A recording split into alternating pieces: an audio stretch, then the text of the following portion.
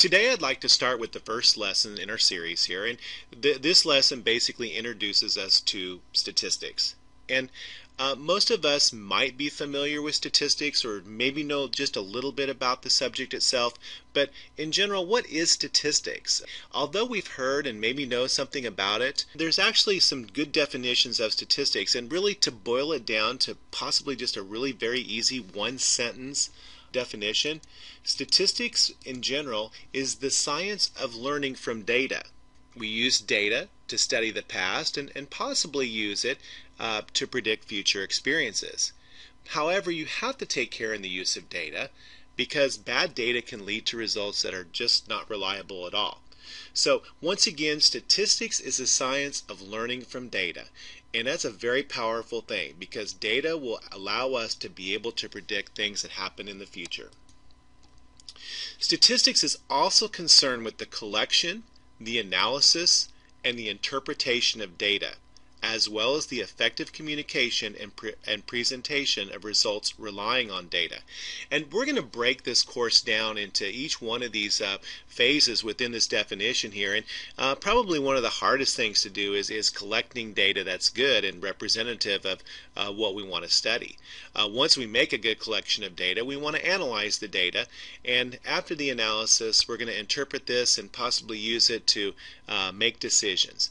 And um, statistics is used in, in several fields. And most of us, as we pursue our studies in college or we pursue our future studies, are going to have to uh, use statistics or take some type of statistics course and, and possibly use it uh, in the real world itself. Statistics is a branch of mathematics that allows us to make quantitative reasoning necessary for important advances in the sciences, such as medicine and genetics, and for making important decisions in business and public policy. Statistics covers quite a cross section of, uh, of different uh, avenues of, of work and studies, and um, once again, it's a great course for, for any of us to, to really take because uh, it, it's very useful. You know, it allows us to, to, to really help in, in, in, many areas of study and in the advances of the studies themselves as well. Okay, let's break it down very simply. Statistics basically is the science of collecting data, analyzing data, and drawing conclusions from the data itself.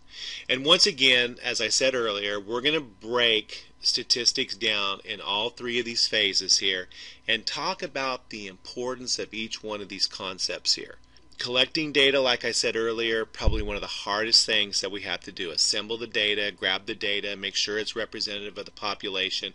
Analyzing data is where we begin to look at possibly some what we call descriptive statistics and some charts and graphs and possibly even looking at uh, certain measurements that are formula driven. And, and uh, once we've analyzed the data, we want to try to draw some conclusions from the data. Does the data tell us something? Are we able to really get a good picture of uh, perhaps the whole, the population, you know, after we look at uh, samples of data. So once again, statistics is the science of collecting data, analyzing data, and drawing conclusions from the data itself. Now, statistics as a subject is broken into two main branches. The first branch is called descriptive statistics.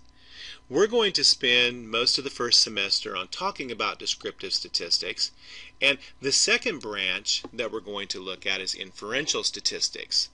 And in the second semester, we're going to be spending most of our time, and, a little bit at the end of the first semester, but in the second semester, we're going to take a look at inferential statistics. Now, let's go ahead and take a look at the definition of both of these branches. Now, descriptive statistics are used basically describe features of the data in a study. With descriptive statistics, you're simply describing what is or what the data shows. Descriptive statistics provide simple summaries about the sample and the measures. They include methods of organizing data, summarizing data, graphically displaying data, and using numerical formulas to describe the nature of the data. All four of these are an important part of descriptive statistics, and as we use each one of these methods here, they'll become an important part of the, the general umbrella of of descriptive statistics. Now, inferential statistics, on the other hand, is defined as the branch of statistics that is used to make inferences about the characteristics of populations based on sampled data.